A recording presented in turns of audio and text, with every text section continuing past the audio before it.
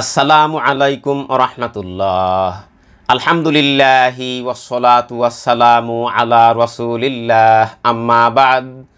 সুপ্রিয় দর্শক, শ্রোতা, আপনারা নিশ্চয়ই জানেন, সারা দুনিয়ায় একটি মহামারী খুবই ভয়াবহ আকার ধারণ করেছে। এই মহামারীর কারণে এই পৃথিবীর শক্তিধর দেশগুলি, এই পৃথিবীর পরাশক্তিগুলি রীতিমতো এই মহামারীর হাতে নাকানি চুবানি খেয়েছেন। সঙ্গত কারণেই এই পৃথিবীর উন্নত দেশগুলির বড় বড় শহরগুলি ইতোমধ্যেই লকডাউন করা হয়েছে এবং এই পৃথিবীতে প্রায় দুই লক্ষ তিরিশ হাজার মানুষ এই মহামারীতে আক্রান্ত হয়েছে এবং সারা দুনিয়ায় প্রায় দশ হাজার মানুষ এই মহামারীতে আক্রান্ত হয়ে মৃত্যুবরণ করেছেন। সঙ্গত কারণেই বলা যায় যে সারা দুনিয়া একেবার অচল হয়ে গেছে।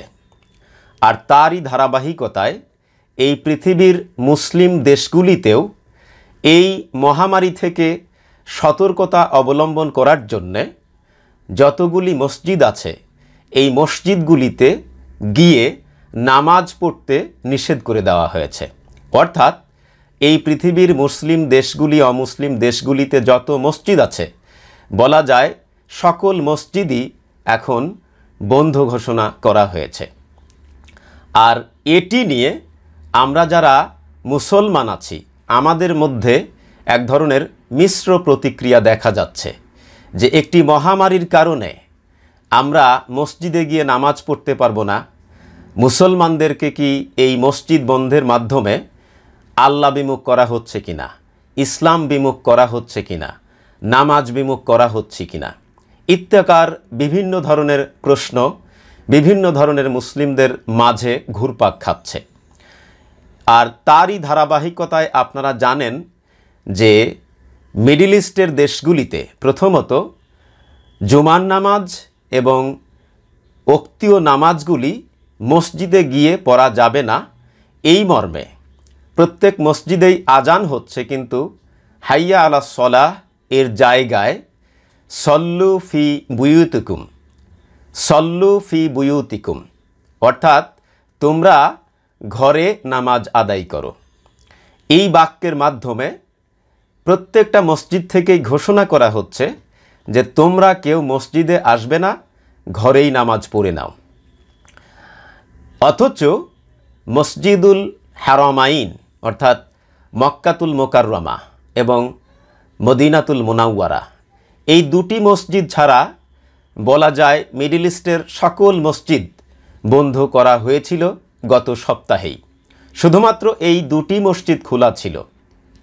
কিন্তু আজকে বিশে মার্চ দু হাজার বিশ সময় টেলিভিশনের অনলাইন পোর্টালে একটি সংবাদ প্রকাশিত হয়েছে, যেখানে বলা হচ্ছে, অনির্দিষ্টকালের জন্য বন্ধ মসজিদুল হারাম ও নববী। এই সময় টেলিভিশনের রিপোর্টটি হুবহু আপনাদের সাথে আমি শেয়ার করতে চাই। করোনা প্রতিরোধে এবার সৌদি আরবে মসজিদুল হারাম ও মসজিদে নববীতেও জুমা সহ সব ধরনের নামাজ স্থগিত করা হয়েছে। অনির্দিষ্টকালের জন্য বন্ধ করে দেওয়া হয়েছে মক্কা, মদিনার ঐতিহ্যবাহী এই দুই মসজিদ। এর আগে সারা দেশের মসজিদে নামাজ আদায় স্থগিত করা হয়। করোনা প্রতিরোধে সব ধরনের ব্যবস্থা নেওয়া হবে বলে জাতির উদ্দেশ্যে দেওয়া ভাষণে জানিয়েছেন সৌদি বাদশাহ সালমান বিন আব্দুল আজিজ। করোনার সংক্রমণ ঠেকাতে গত মঙ্গলবার হেরেম শরীফ ও মসজিদে নববী ছাড়া পুরো সৌদি আরবের সব মসজিদের নামাজ আদায় বন্ধ ঘোষণা করে কর্তৃপক্ষ। এবার ওই মসজিদ দুটিও বন্ধ ঘোষণা করা হলো। এতে অনির্দিষ্টকালের জন্য বন্ধ থাকবে জমা সহ সব ধরনের নামাজ। এদিকে করোনা মোকাবেলায় সবাইকে একসঙ্গে কাজ করার আহ্বান জানিয়েছেন সৌদি বাদশাহ। বৃহস্পতিবার জাতির উদ্দেশ্যে দেওয়া ভাষণে বর্তমান সময়কে পুরো বিশ্বের জন্য অত্যন্ত কঠিন সময় বলে তিনি উল্লেখ করেন। সৌদি আরবে এ পর্যন্ত করোনায় কারও মৃত্যু না হলেও আড়াইশোরেও বেশি মানুষ কোভিড নাইন্টিনে আক্রান্ত হয়েছেন বলে জানা গেছে। এতে স্থানীয়দের পাশাপাশি প্রবাসী বাংলাদেশিরাও আতঙ্কে আছে।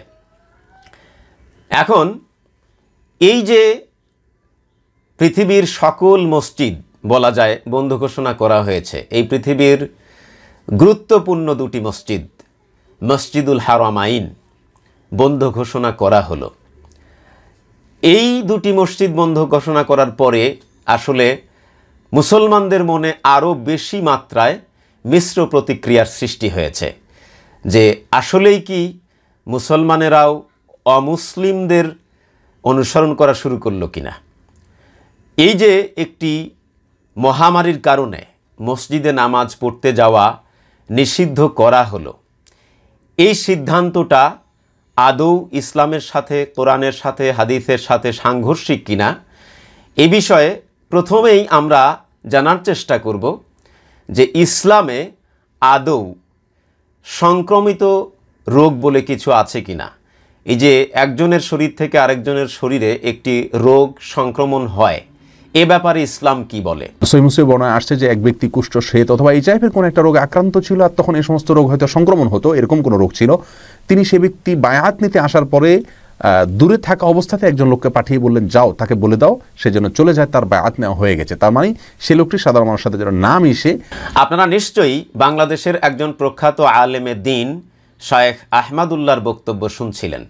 তো এতে প্রমাণিত হলো যে ইসলামে সংক্রমিত রোগের অস্তিত্ব রয়েছে আর এই সংক্রমণ থেকে বাঁচার জন্য মানুষের সংস্পর্শ থেকে দূরে থাকাটাই ইসলামের বিধান।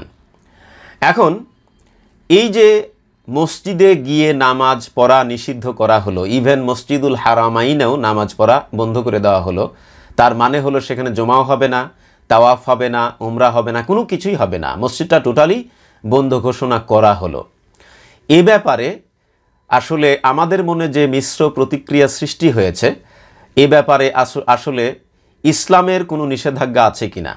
এই সিদ্ধান্তটা কতটুকু ইসলামের সাথে সাংঘর্ষিক এ ব্যাপারে আবারও আমরা শায়েখ আহমদুল্লাহর কাছেই ফিরে যাচ্ছি। যে হ্যাঁ রসুল করিম সাল্লাম বিশেষ পরিস্থিতিতে মসজিদে আসা বন্ধ করা অথবা মসজিদ সম্পূর্ণভাবে বন্ধ রেখে যার যার বাসায় সালাত আদায় করার বিষয়টিকে অনুমোদন দিয়েছেন। আপনারা নিশ্চয়ই শায়েখ আহমদুল্লাহর মুখেই শুনেছেন যে এমন কোনো মহামারী যদি আসে, যে মহামারীর কারণে যদি মসজিদে গিয়ে নামাজ পড়াটা বিপজ্জনক হয় এবং মসজিদে গেলে আমার রোগ থাকলে সেই রোগটা মুসল্লিদের মাঝে সংক্রমিত হতে পারে অথবা অন্য কোনো মুসল্লির থেকে আমার মধ্যে সংক্রমিত হতে পারে, এমন রোগের ব্যাপারে রসুল্লাহ সাল্লু আলী ওয়াসাল্লাম মসজিদে যেতে নিষেধ করেছেন এবং এমন পরিস্থিতিতে বরং মসজিদে যাওয়া জায়েজ নাই। লা দরারা ওয়ালা দিরারা কারোর ক্ষতি করার কোনো সুযোগ নাই। অতএব মসজিদে আসার মাধ্যমে যদি কারোর ক্ষতি হয় তাহলে তার জন্য মসজিদে আসা বরং গুনাহের কথা এবং নাজায়েজ ইসলামের শরীর দৃষ্টিকোণ হলো এটা। আর সম্পূর্ণভাবে মসজিদ বন্ধ করে রাখা সাময়িক সময়ের জন্য যার যার বাসায় সালাত আদায় করতে বলা এটাও ইসলাম শরীরের অনুমোদিত যদি ক্ষতিটা এমন হয় যে সবার মধ্যে সেটা সবাইকে আক্রান্ত করতে পারে। এরকম যদি হয় তাহলে সে সুযোগ রয়েছে। এই কথাটা তিনি বোঝানোর জন্যই রাসুল্লাহ সাল্লু আলী ওয়াসাল্লামের একটি হাদিস বর্ণনা করেছেন। এখন আমরা চলে যেতে চাই এ ব্যাপারে বাংলাদেশের ওলামা মাসায়েক কি বলেন? অবশ্য সকল ওলামা মাসায়েকের বক্তব্য তো এখানে শেয়ার করা যাবে না। আমি শুধু বাংলাদেশের একজন বক্তা মুফতি নোমান কাসেমের একটি বক্তব্য শুনেছি, যেখানে তিনি মসজিদে নামাজ পড়তে যাওয়া বন্ধ করার বিরুদ্ধে অবস্থান নিয়েছেন। বলা যায় তিনি মসজিদে নামাজ পড়তে যাওয়া নিষেধ করলেই তাদের বিরুদ্ধেই তিনি হুঙ্কার দিয়েছেন। তাহলে চলুন আমরা তার বক্তব্যটি শুনে আসি। কোন জালিম শাহী যদি আমাদেরকে করোনার দোহাই দিয়ে বলে মসজিদে নামাজ পড়তে যাবে না আমরা তাদের কথা মানব না। আপনারা নিশ্চয়ই তার বক্তব্য শুনেছেন। তিনি পরিষ্কার ভাষায় বলেছেন কোনো জালিম শাহী যদি করোনার দোহাই দিয়ে মসজিদে নামাজ পড়তে যেতে নিষেধ করে তাহলে সেই নিষেধ আমরা মানি না, মানব না, মানি না, মানব না, মানি না, মানব না। এখন এই জাতীয় কথাবার্তা, এই জাতীয় বক্তব্য দেওয়া তার আদৌ উচিত হয়েছে কিনা? তিনি কি বুঝে শুনেই বক্তব্য দিয়েছেন? তিনি কি কোরআন এবং হাদিসের তথ্য জেনেই বক্তব্য দিয়েছেন, নাকি তার জ্ঞানের অপরিপক্কতা আছে? বিষয়টি আপনাদের উপরই ছেড়ে দিলাম।